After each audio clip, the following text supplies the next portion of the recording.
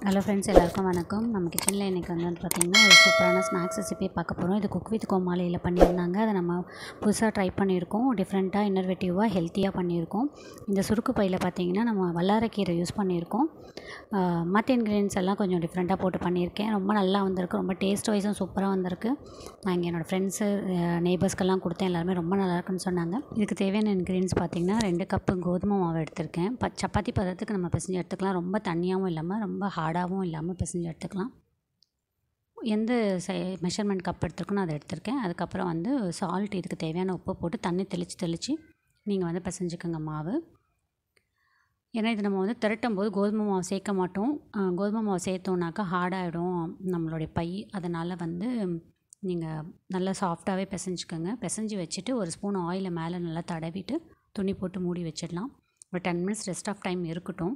இல்லை நீங்கள் வேணும்னா இது கூட சேர்த்துக்கலாம் நம்ம ஓமம் கூட சேர்த்துக்கலாம். நான் எதுவுமே சேர்க்கல.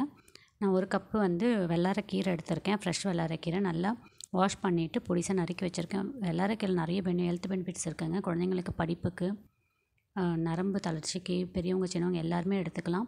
அதனால் அடிக்கடிக்கு வாரத்தில் ஒரு முறை உணவில் சேர்த்துக்குங்க அது. இதுக்கு தேவையான மசாலா ரெடி பண்ணிடுவோம். ஒரு கடாயில் ஒரு ஸ்பூன் ஆயில் விட்டுட்டு பூண்டு ஒரு நாலு பல் பூண்டு பொடிசாக நறுக்கி வச்சுருக்கேன் வெங்காயம். பூண்டு வேண்டானா நீங்கள் ஒமிட் பண்ணிக்கலாம். வெங்காயம் ஒரு பாதி வெங்காயம் நறுக்கி வச்சுருக்கேன் பாதி பச்சை மிளகா. வல்லாரக்கீரை பொடிசாக நறுக்கி வச்சுருக்கேன் அதை போட்டிருக்கேன். பச்சை பட்டாணி ஏற்கனவே நான் உப்பு போட்டு லைட்டாக கொதிக்கிற தண்ணியில் ஒரு அஞ்சு நிமிஷம் வேக வச்சு எடுத்து வச்சுருக்கேன். அதையும் இதில் ஆட் பண்ணிக்கிறேன். இதுக்கு தேவையான மஞ்சத்தூள் ஓமமும் சோம்பும் நான் நசுக்கி வச்சுருக்கேன். அதை போடுறேன் நான். அதுக்கப்புறம் உருளைக்கிழங்கு நல்லா ரெண்டு விசில் விட்டு நல்லா ஸ்மாஷ் பண்ணி எடுத்திருக்கேன். எடுத்து தோல் உரித்து ஸ்மாஷ் பண்ணி இதோட ஆட் பண்ணிக்கிறேன். ஆயில் கம்மியாகவே போட்டுக்கோங்க. ஆயில் வேண்டாம். ஏன்னா நம்ம வெளியிலையும் ஆயிலில் ஃப்ரை பண்ண போடுறோன்றதுனால. நல்லா இந்த மாதிரி ஸ்மாஷ் பண்ணி எடுத்துங்க. இதுக்கு தேவையான உப்பு கரெக்டாக இருக்கான்னு செக் பண்ணிக்கோங்க. காரம் வேணால் நீங்கள் மசாலா ஆட் பண்ணிக்கலாம். நான் இதில் ஆச்சாரி மசாலா ஆட் பண்ணுறேன் அது ஒரு அந்த டேங்கி ஃபீல் வரும்ன்றதுக்காக ஆட் பண்ணுறேன் ட்ரை பண்ணி பாருங்கள் நான் தான் சொன்னேன் ஆச்சாரி மசாலா நிறைய டிஷ்ஷஸ் செய்யலான்னு சொல்லிட்டு ட்ரை பண்ணி பாருங்கள் இப்போ நம்ம சப்பாத்தி ப சப்பாத்தி நம்ம எப்படி திரட்டுவோம் அந்த மாதிரி திரட்டிக்கலாம். ஆனால் கோதுமை மாவு மாவு டிப் பண்ணாமல் திரட்டுங்க. நான் அந்த ரவுண்ட் ஷேப் வரதுக்காக கப்பு வச்சு கட் பண்ணுறேன் நீங்கள் அந்த மாதிரி ஒரு இதுலேயே நம்ம ஒரு மூணு நாலுன்னு கட் பண்ணி எடுத்துக்கலாம். இந்த மாதிரி எடுத்துக்கோங்க. நம்ம சேனல் சப்ஸ்கிரைப் பண்ணுங்கள் ஆல் பட்டன் ப்ரெஸ் பண்ணுங்கள் அப்போ தான் நான் போடுற ஒரு வீடியோ உங்களுக்கு உடனே உடனே வரும். இப்படி குழந்தைங்களுக்கு இந்த மாதிரி வல்லாரக்கீரையில் நிறைய ஸ்நாக்ஸ் வல்லாரக்கீரை முருங்கைக்கீரை நிறைய ஸ்நாக்ஸ்லாம் ரெசிபீஸ்லாம் நம்ம சேனலில் அப்லோட் பண்ணியிருக்கேன். போய் பாருங்கள் இந்த மாதிரி நிறைய நம்ம வந்து பைக்கு ரெடி பண்ணி எடுத்துப்போம். சுருக்கு பை தானே நம்ம பண்ணுறோம் அதுக்கான இது மாவு தான் இது பேஸ் இது தான் இந்த மாதிரி ரெடி பண்ணி எடுத்துக்கலாம். ரொம்ப நல்லா வந்ததுங்க. நான் ஃபஸ்ட் டைம் தான் ட்ரை பண்ணேன். குக் வித் கோமாளி பார்த்துட்டு.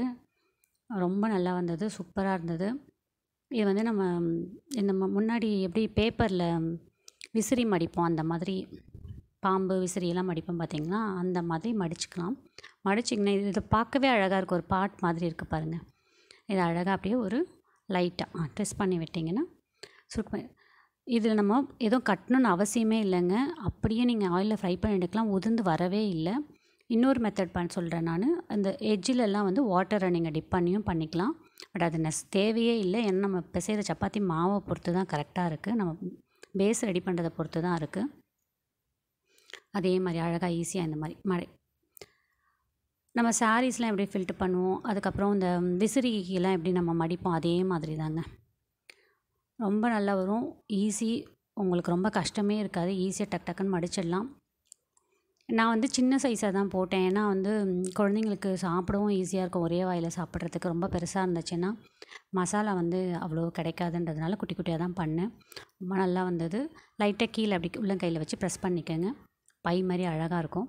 நான் இதுக்கு வந்து வெங்காயத்தாளை வந்துட்டு ரெண்டாக கட் பண்ணி கட்டியிருக்கேன். அது சும்மா ஒரு டெக்கரேஷனுக்காக தான். அது இங்கே ஃப்ரை பண்ணி எடுக்கும்போது உங்களுக்கு அந்த வெங்காயத்தாலும் நல்லா ஃப்ரை மொறு மொறுன்னு இருக்கும். அது வேணும்னா பண்ணிக்கலாம் இல்லைன்னா நீங்கள் அப்படியே கூட போடலாம். உதிர்ந்தே வராது.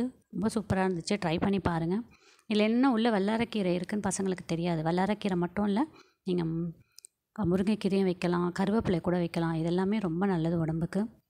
இதெல்லாம் ஃப்ரை பண்ணி எடுத்துகிட்டு நீங்கள் கெச்சப்போடையும் க்ரீன் சட்னியோடையும் சர்வ் பண்ணலாம். ரொம்ப நல்லாயிருக்கும். இந்த பாருங்கள் சூப்பராக வந்திருக்கு பாருங்கள் ட்ரை பண்ணி பாருங்கள் ட்ரை பண்ணி பார்த்துட்டு உங்கள் கமெண்ட் போடுங்க. நிறைய இந்த மாதிரி குக் வித் கோமாளி எல்லா டிஷ்ஷஸும் இல்லை. ரொம்ப இம்பார்ட்டண்டான டிஷ்ஷஸ் எனக்கு பிடிச்ச டிஷ்ஷஸ் உங்கள் எல்லாருக்கும் பிடிக்கிற மாதிரி ஒரு டிஷ்ஷஸ் எல்லாம் நிறைய நான் வந்து நம்ம சேனலில் ட்ரை பண்ண போகிறேன் உங்களுடைய ஆதரவு கொடுங்க. சப்ஸ்கிரைப் பண்ணுங்கள் ஆல் பட்டன் ப்ரெஸ் பண்ணுங்கள் லைக் பண்ணுங்கள் இந்த வீடியோ உங்களுக்கு பிடிச்சிருந்தா உங்கள் ஃப்ரெண்ட்ஸ்க்கு எல்லாமே ஷேர் பண்ணுங்கள் இந்த வீடியோ பிடிச்சிருக்கோன்னு நினைக்கிறேன். செஞ்சு சாப்பிட்டு பார்த்துட்டு எனக்கு கமெண்ட் பண்ணுங்கள் எப்படி இருந்துச்சுன்னு சொல்லிவிட்டு